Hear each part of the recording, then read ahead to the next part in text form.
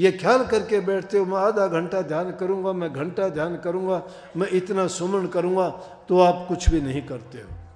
फिर तो आप घड़ी और मिनटों को गिनते रहते हो और बीच में बल्कि उठ के देख भी लेते होगे, ओ, अभी तो पंद्रह मिनट हुई, आधा घंटा नहीं हुआ।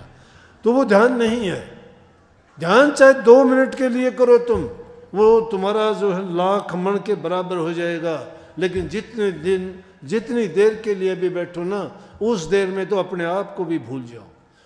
ना तुम्हारा मन रहे, ना सूरत रहे, ना शब्द रहे, ना गुरु रहे, ना तुम रहो। सिर्फ़ तुम्हारा एक ही तारतम्य हो बस। सुन में पहुँच जाओगे। ध्यान धरो तुम मन में।